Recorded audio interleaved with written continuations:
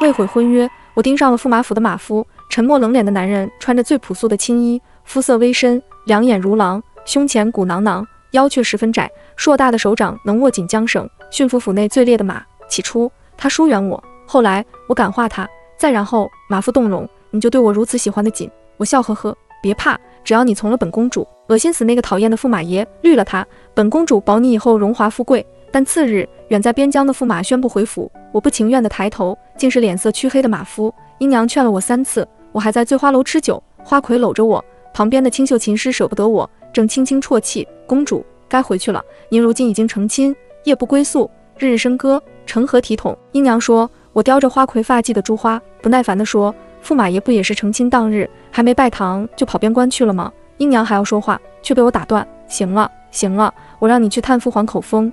如何了？英娘苦笑，陛下这次恐怕不会通融了。魏小将军勇猛善战，功高盖主，与皇家联姻，哪有说退就退的？除非魏小将军那边也请退婚，或许能行得通。只不过他不敢说的话，我却明白。魏三郎面冷似阎罗，是杀是血，没人敢惹，但未必不行。我面上不露，笑嘻嘻冲英娘说：“知道了，打道回府吧。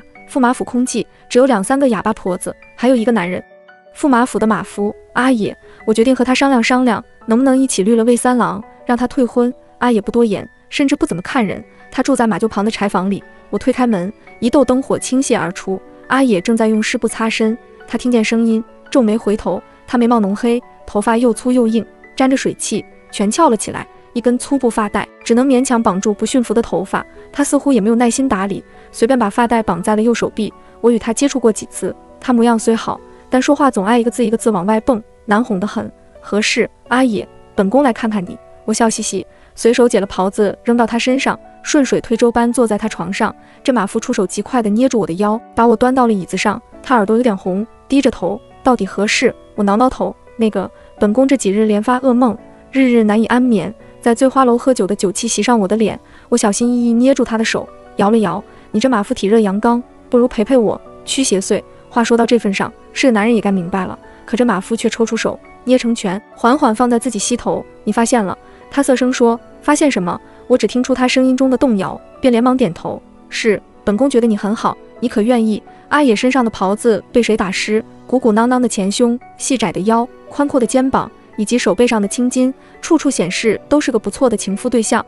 可他却不说话。我小心摸摸他的脸，他不躲，但也不抬头。我有些无措且牙疼。总不能霸王硬上弓。我讪笑，好吧，你若不愿，我就去醉花楼找琴师好了。那男孩模样也清秀，就是胆子有点小，爱哭，实在没办法，我才会选他。因为我怕魏三郎真发怒，能把他撕着吃了。马夫就不错，身材壮实，看着不怵魏三郎。我刚要起身，忽然袖子被人拉住，不可。他声音微冷，顿了顿，说道：“罢了，我陪你。”一斗灯火熄灭，另一簇火却悄悄点起，灯油燃尽，我疲惫睡去，朦胧中。我隐约感到热水温柔地擦拭过我的身体。马夫轻声说：“晚安，我的公主殿下。”我哼了一声，想反驳我可不是他的，但是他鉴赏的过了头，让我没了力气。我彻底睡了过去。最难的步骤既已达成，余下的便简单多了。我早早醒来，牢记住昨晚在悠悠灯火下看到的马夫左小腹下的红痣，又趁着他不注意，随手捡走了他搁在床边的腰带。如此。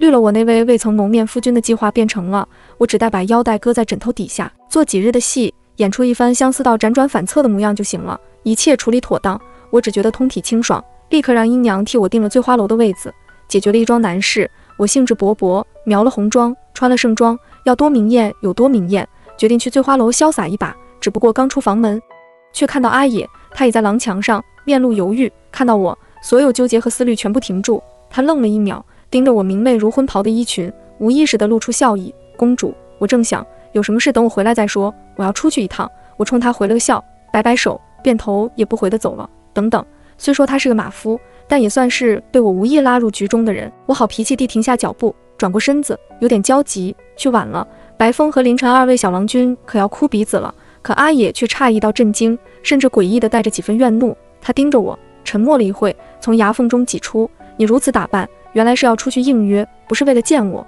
我笑了笑，摸了摸他的脸，心甘。我向来坦荡，从不骗人。本宫贵为公主，心当然要分成一片片，这片给东街的春琴，那片给醉花楼的白风，再有一片分给你这个脾性野蛮的马夫。我大方地说，今日我心情好，你若实在缠我缠得紧，等我回来后好好陪你一会。但不知为何，马夫的神情并没有一丝一毫好转，他反而气笑了，那双幽深的眼睛看向我，别有深意，眼神热热到猖狂。原来如此，你还不识我，我怎么不识他了？昨晚我非常识货，甚至亲自把他的货品见了一番。我敷衍地拍拍他的脸，转身就走。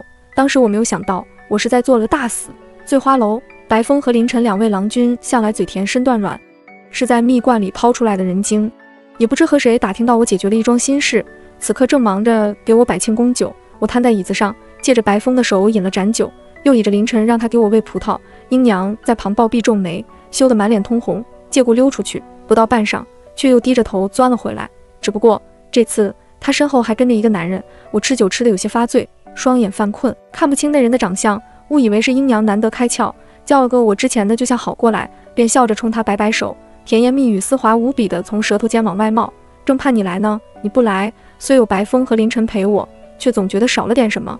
我挨着他的肩头，贴着他的耳廓，小声说：“你放心，本宫对旁人都是逢场作戏，皆是过客，唯有对你是真心的。”多年后，当我再次听某人就是重提时，确实觉得那碗酒喝上了头。行为着实有些畜生，但当时我只觉得一股子演戏的欲望从我腹部燃到我的心口，又觉得这男人分外可亲，肩膀结实，肩胛骨也不硌人，身上的味道也着实好闻，还有些熟悉。最大的优点是话少不吵人。我醉眼惺忪地瞥了眼白风和凌晨，平日里叽叽喳喳惯了的小郎君，一个个眼睛发绿地死盯着我搂着的男子。如此可见，他的容貌气质着实不俗。可醉花楼何时有了这等出色的人？我怎么不记得了？我摇摇头。凑近看去，看得我瞬间清醒。这男人竟是魏家的马夫阿野。我的手下得弹开，又掩饰般顺势拿了杯酒递过去，喝点。你的唇都干了。阿野乖乖拿起酒杯，一饮而尽，面冷但耳根赤红，一直走神，喝得差点呛住。我下意识嘴欠，补了句：瞧你昨晚累到了。阿野捏紧手指，瞪着酒杯，像是那杯壁上的花纹分外值得他研究。半晌，他才说话。所以你知道我要来，你还盼着我来。如今话赶话说到这份上，也不方便解释，我只好含糊应下。事后想来，此行为着实更为畜生。但当时阿野低着头抿嘴，很轻很轻地笑了。他缓缓抬头，深黑的眼睛看着我，表情依旧是那副寡淡生冷的模样，只是平添了些紧张和窘迫。他不像白风和凌晨，嘴巴像生花了似的，能说会道。阿野干巴巴几句话，直白干脆，丝毫没有任何矫饰。他说：“你这公主。”着实顽劣，但何必费事设这场局？我会吃醋，我会在乎，我会嫉妒这些事。我不瞒你，我缓缓收回搂他的手，这时候才意识到问题的严重性。完了，全完了！我和花楼的郎君们逢场作戏惯了，说情话如同喝水，谁都不当真，只当做酒席间讨个趣。纵使那晚同床共枕，也不过是我与他的露水情缘，却没想到阿野纯得很，他竟全当真了。回府时，阿野要给我们赶车，英娘和我静默地呆坐在马车内。英娘说。公主，你可不能！我知道我不能伤了他的心。我打断，我们又沉默。英娘忽然扑哧一笑，笑得格外欠揍。奴婢总觉得你要栽在这人身上了。我苦笑，那可不成。就算我也心悦他，可等魏小将军和我退完婚，我总是要把他护送到别处好好安置的，总不能让他留在我身边。等哪天魏小将军那杀神一刀切瓜，把他砍个七零八碎吧。英娘叹气，何必呢？他这一问其实意味深长，问我何必胆战心惊，连要爱谁。不要爱谁，都得放在秤上好好掂量。也是问我这么多年精心谋划、百般设局，到底是为了什么？这些问题我都回答不了。我是汤朝的长公主，我的祖母是篡位谋权的女皇。国师在我出生那年说天有异象，威胁帝星。我的父皇以前怕他已经死去的母亲，如今这种恐惧又转移到了我的身上。我并非荒淫无度，但我只能荒淫无度。魏三郎和我成婚，对于父皇而言，既是好，也是筹谋，谋划某天能一箭双雕。将魏家和我一举除掉，魏家不敢退婚，所以想退婚，只能是因为我。马车忽然停了，有男人低沉的声音在外面响起：“报，可汗莫辍投降，归顺我朝。漠北的魏家军不日即返。魏家军，魏三郎要回来了。”阿爷打断：“公主刚吃了酒，等她回去更衣后，你再详细给她说。此地不宜细谈。”我听到他的口吻，有点微微讶然，没想到，看着呆头呆脑的阿爷，没想到打起官腔来还真有几分架子。不过我倒也没什么想细聊的，便直接掀了帘子，望向那位中郎将。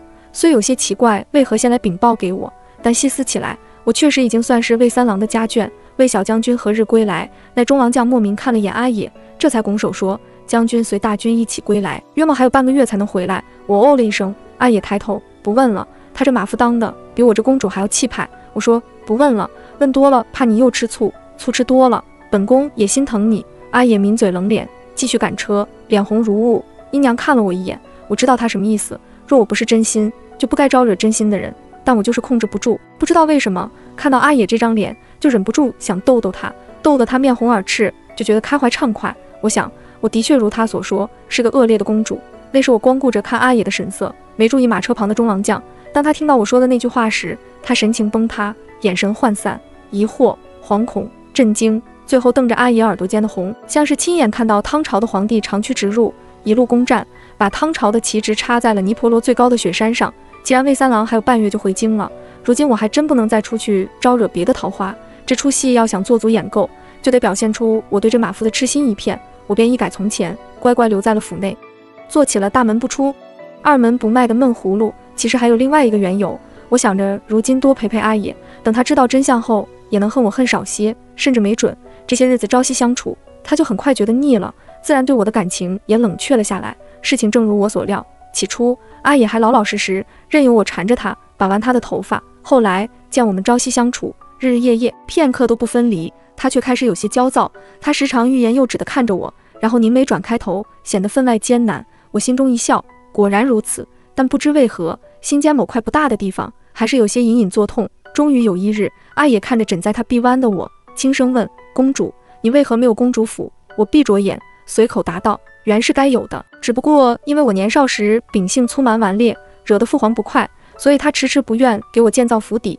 所幸如今有了这门亲事，我才能从宫中搬出来，囫囵住在魏小将军的府邸内。我说的话半真半假，父皇不为我立府，估计更多是生怕我方便与外臣沟通。”阿野犹疑，当初朝堂上的人说是陛下溺爱公主，不肯让你搬出宫去。我睁开眼，仰头看到他微蹙的眉头，不由失笑。一个马夫，不被主子重视的马夫，竟然还会怜悯我这个公主。我拍了拍他的脸，世上的事真真假假，每个人都有每个人的说辞，假之蜜糖，乙之砒霜。你且挑着你喜欢听到话去相信就行了。睡吧。阿野片刻没有说话，却抱紧了我。他吻着我的鬓发，小声说：“我信公主。”我的心脏跳动加快，感觉有股暖流从胸腔里泛上来。我暗自斥责自己，平日里见识过那么多甜言蜜语，难不成功力还没有修炼到家，竟然会被这人哄住？阿野又犹豫地问：“公主，你对魏三郎怎么看？怎么看？不想看，但也许是这夜色太朦胧，让我有种即便说些真话也无伤大雅的感觉。”我轻笑，心比天高，不知年少有为，功高盖主，便会过刚一舌，连累全家。这被主子抛在驸马府里，一个人苟活的马夫听了这话，竟然颤抖了。他呼吸急促，好半天才抑制住。哦，这不由让我生疑。我笑嘻嘻地抹挲他的后颈，问道：“怎么担心你家魏三郎？”阿野摇头。我试探道：“你是何时进府的？看你约莫和魏小将军差不多大，许是他从小的玩伴。”阿野又摇头。我直直看着他，手指在他锁骨上描画。他才意识到还有一个问题没有回答。他别开脸，涩声说：“魏小将军出征前，因着前任马夫重病，临时招我进来替他看管马匹的。我甚至不大见过他。”我低下头，发现他身上有了些不同寻常的变化。我笑了笑，如今还早，这夜才刚刚开始。约莫过了几日，马夫终于忍不住，他艰难地开口，冲我说：“公主，我有点事情需要出府处理，我陪你。私事不太方便。”他硬邦邦地拒绝，连找个理由都艰难。我笑了笑，去吧。阿野刚出门，我就派人跟着他。自那晚试探后，我一直没有对他放松警惕。我总觉得他的言行举止有些奇怪，不像是马夫。倒像是参过军的人，若他是为小将军安插进魏府，监视我的眼线，倒也无所谓。如今该做的都做了，他难道还能抵赖不成？回来的探子告诉我，那马夫果然有问题。他脚速极快，几下就把探子甩丢了。许是与人密会。我摆手，没关系，没关系，大不了撕开脸，让我看看他到底是要从了旧主子，还是要跟我这个新主子。我当日大摆宴席，等阿野回来后，盛装打扮的我拉着他坐下，红绫绸布挂满水榭。锦绣珠翠披满我身，他看得移不开眼。我望着阿野这副神情，忽然间满腔的心思、满腹的草稿都说不出来。阴娘咳了一声，我才回过神，把端了许久的酒杯递到他嘴边，轻笑道：“喝下这杯合卺酒。”阿野愣住，什么？我冲他眨眼。本宫觉得阿野甚好，想给你个名分，难道你不愿意？戏演到这个地步，其实连我都不知道诸多安排到底是为了稳住阿野这枚棋子，还是为了安抚我的良心，亦或……二者都不是，只是我那连自己都搞不清的私欲在蠢蠢欲动。我为何要选他？明明知道驸马府内部的人更为敏感，为何还要选他？我为何要愧疚？朝堂上一场小小的党争都会不知道死多少个官，我为何犹豫不决？我不敢想，我只静静看着阿野，他的表情动容，半是喜悦，半是凄楚。他低头饮了那杯酒，这酒似乎极烈，让他顷刻就红了眼。阿野表情复杂的看着我，你就对我如此喜欢的紧？我毫不犹豫的点头。阿野苦笑，他的语气极为复杂。若我骗你，你可还会喜欢我？戏的气氛烘托到这，便该亮底牌了。我摇摇头。阿野瑟缩了一下，我搂住他。阿野，我对你向来坦荡，你骗我，我自然不会高兴。但若你坦诚告诉我真相，我自然会原谅你。阿野犹疑，我便低声道：“你是魏三郎的人，对吗？”他抬眼，充满讶然，但不知为何还有些许期待。他说：“算是。”然后那只温暖的手包裹住我的手背，他轻轻开口：“若你知道了，你又会如何对我？”我懂他在暗示什么，无非是另投新主后有什么待遇。没想到这阿野看着单纯，实际上也有凡夫俗子的考量。既谈到公事，那就得直白些，把我想让他做的事，把我能为他做的事都说清楚。而且，既然他这么快就来暗示我，想必虽然在魏三郎麾下，但对他早有一心。我笑着说：“自然是好好护着你。”我低声说：“别怕，只要你跟了我，本公主保你日后荣华富贵，吃香喝辣。但你得和我保证，得先帮我把魏三郎绿了，让这婚约作废。”那一瞬间，阿野的喜色滞住了，我迷茫的怔住，仿佛周遭的月声凝色，天骤然黑了似的。他恍惚地看着我，神情空白，推开我的手，摇摇晃晃地站起身。我疑惑地盯着他。怎么了？我笑了笑，欲拉他的手，他却骤然挥开我的手，连连往后退，慌乱中被小几绊倒，摔在地上，酒液倾洒了一地。我绞尽脑汁思索我刚才说了什么错话，企图解释道：“阿野，你难道不信我能给你荣华富贵？”我靠近他，语速飞快：“我虽然失势，但好歹是个长公主，怎么会食言？你若不求财，想要求官，那也可以。只不过如今我与魏三郎成亲，本就是朝堂的眼中钉，出不得半点差错。”你先帮我毁了这门亲事，等风头过去，我替你谋划也不迟。阿野猛地抬头，我瞬间失了声，因为他的眼睛红得很，像是有一场风雨刮过他的骨头，把他搅弄到痛不欲生。我实在不明白为什么，又不知为何，心急的乱跳。我蹲下身，口不择言：“你何必如此？若你真对我负了多少真情，又怎会瞒着我定期密会魏三郎的人？你只是怕得罪原主，又想在我这里分一杯羹罢了。”阿野，墙头草可不是那么好当的，你要么选他。要么选我，但本宫警告你，在你与我同床共枕那晚后，你就没得选了。你难道真以为魏三郎是好相与的，能容忍一个绿他的部下继续在他麾下做事？他咬紧牙关，颤抖地说：“我以为，我当时以为你是真喜欢我，原来你只是利用我，侮辱魏顾影。”一滴泪随着他颤抖的声音滑落，他紧紧闭住眼，满脸的耻辱，像是做了场荒唐的梦。我所有的话都说不出来了。阿野央求般的看着我，似乎想让我反驳他。你你没什么要说的了吗？我能说什么？我向来坦荡，他猜的都对，我怎能反驳？我张了张嘴，语言很是苍白。原来他叫魏顾影，我都忘了。阿野轻笑，继而笑出声。他摇摇头，站了起来，一言不发的走了。阴阳担忧的靠近我，公主，魏三郎明日回京。我疲惫地遮住脸，先依照计划行事吧。我在原处站了站，又望了望这廊檐上的红绸。总觉得今晚的一切也像是场属于我的荒唐大梦。我第一次遇到我把控不住的事情，我预料不到的人。阿野这人，似乎他让我入梦，我便只能入梦；他要我醒，我就只能醒来。魏家军班师回朝，举城迎接我，自然自称生病，留在府中休养。我在床榻上一边盘算着那接风洗尘的宴席进行到哪一步了，魏顾影有没有听到关于我的风言风语，一边心不在焉地拨弄着顺来的那根腰带。阿野彻夜未归府，想来是我那日的谈话。力谈的太多，情谈的太少，太过着急，想要他给我一个答复了，不像个情人，更像个政客，让他觉得我吃相难看，惹人生厌。我沉沉叹了口气，见魏顾影迟迟不来，索性把那根腰带往枕头下一塞，小憩了过去。天色黑沉，我被门扉打开的声音惊醒，一只手猛然盖住我的眼睛，我下意识唤阿野，但骤然清醒，来人尚且穿着官服，护具铠甲，腰间佩环，哪里都不像是阿野，除了点身上冷冷的气息。恍然间，确实像几分故人。我闻到了酒气，更加笃定，这就是刚参加完宴席的魏顾影，我的夫君，那个传闻中杀人不眨眼的修罗。冷汗隐隐从我的后背生出，我慢慢摸向他的手背，他却纹丝不动，没有让我睁眼的意思。阿野是谁？这声音过于低沉，我咽了下口水。你府中的人，你不清楚？清楚。我是问，他是你的什么人？我的情人。魏顾影竟然笑了，我瞬间呆住。什么情况？普天之下。竟然有人如此欣然接受自己被绿的真相，莫非他有什么诡异的癖好？想到此，我对这位未曾谋面的驸马越发反感起来。我扭动身子，企图挣扎。魏顾影的力气大得很，甚至丝毫没有动弹。我只得不小心碰到枕头，露出下面藏着的腰带。我假装仓皇地捂住什么东西。不知为何，我总觉得魏顾影的语气像是在看戏，带了点冷冷的戏谑。但我顾不得他想，深情地说：“这是阿野的腰带。我想他时，就会抱着他的贴身衣物才能入睡。”魏顾影又一嗤笑，我满脸的深情差点崩裂，硬着头皮准备给他下一剂猛药。魏小将军，是我有愧于你，你明白的。痴情男女一旦相爱，便干柴烈火，一发不可收拾。我不知你是否见过阿野，我们如今吵了嘴，他不理我，但我知道他左小腹下有枚红痣，如此私密之事做不得假。你瞧的倒是仔细，原来干柴烈火之时，也有功夫借着那点烛火去找别人身上的小痣。魏顾影凉凉讽刺，我沉默了。他什么意思？他是脑子有什么毛病不成？一句话，你合不合离？我冷淡道。魏顾影手掌箍紧我的肩膀，等和离后，我还要去找我的阿野。